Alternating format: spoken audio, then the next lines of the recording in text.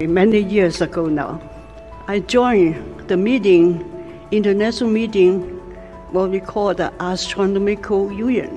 One women scientist from Europe, and they and she claimed that woman is was not being very good chief on society, on scientific society, and they're saying that there's a glass over the head.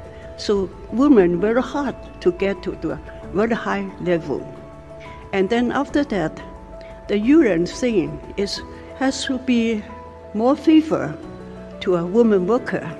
I thought so many times we had the chairman of the union as a lady, not gentleman.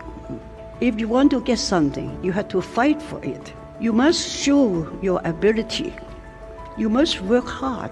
Keep your working position. So actually, if we if we do better and try our best, then I think the woman's position will become more and more equal or even higher.